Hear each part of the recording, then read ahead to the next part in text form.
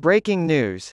According to Putin, during the counteroffensive, Ukraine lost between 25 and 30 percent of the foreign-supplied military vehicles it had. Putin claimed on Tuesday that Ukraine had lost between 25 and 30 percent of the Western-supplied military vehicles it had used in its counteroffensive and that Ukraine had suffered 10 times as many casualties as Russia. In a meeting with military bloggers that was broadcast on television, Putin made the remarks.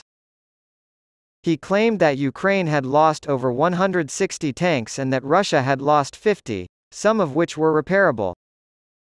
He also blamed Ukraine for last week's dam collapse in Kakhovka, saying the country had shelled the dam with HIMARS missiles made in the United States. Unfortunately, Reuters was unable to quickly confirm his claims.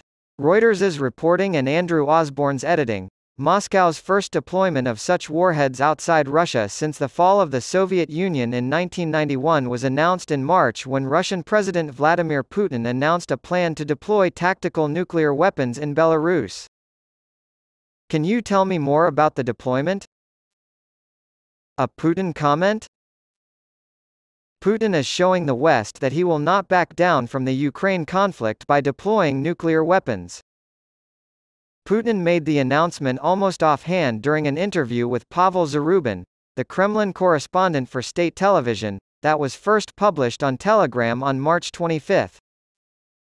Putin stated that the announcement by Britain that it would supply depleted uranium munitions to Ukraine prompted the decision to deploy in Belarus.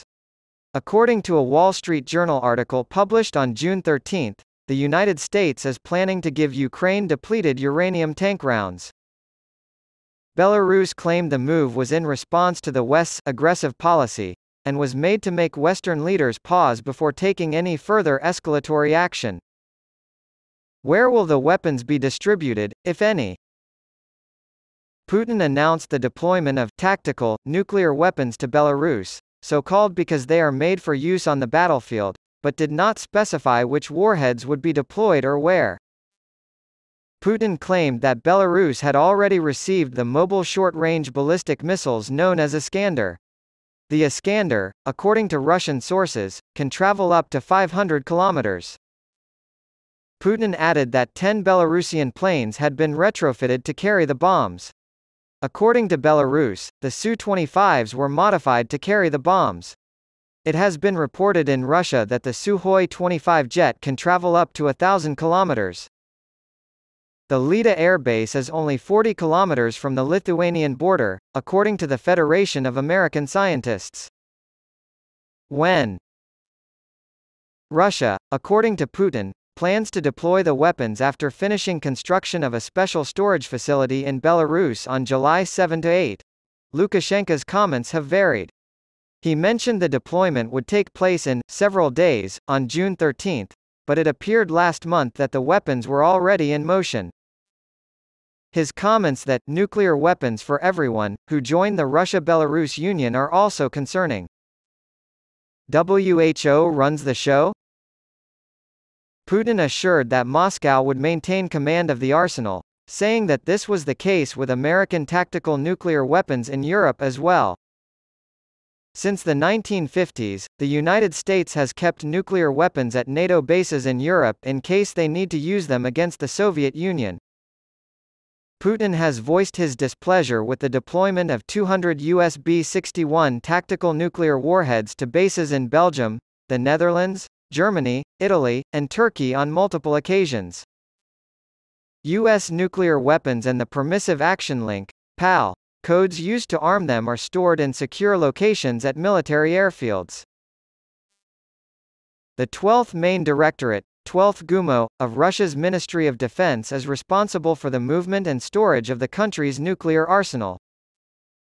Nuclear dangers? The United States went to great lengths following the Soviet Union's dissolution in 1991 to ensure that the nuclear weapons it had stationed in Belarus, Ukraine, and Kazakhstan were returned to Russia. Putin's decision to reintroduce nuclear weapons to Belarus demonstrates the collapse of the framework supporting nuclear arms control since the end of the Cold War.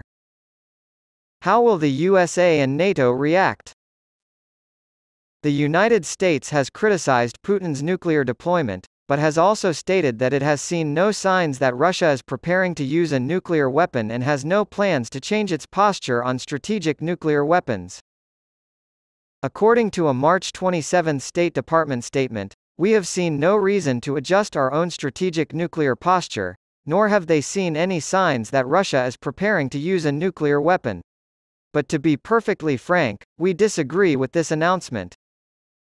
On April 18, NATO Secretary-General Jens Stoltenberg called Putin's action reckless.